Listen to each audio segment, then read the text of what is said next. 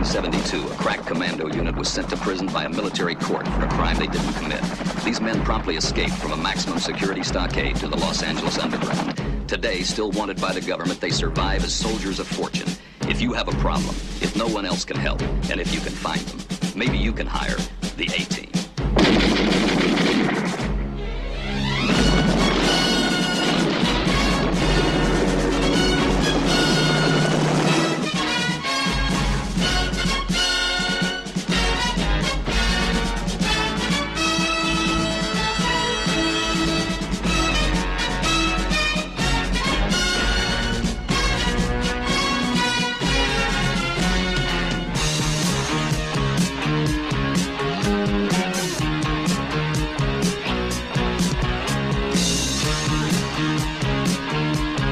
Thank you.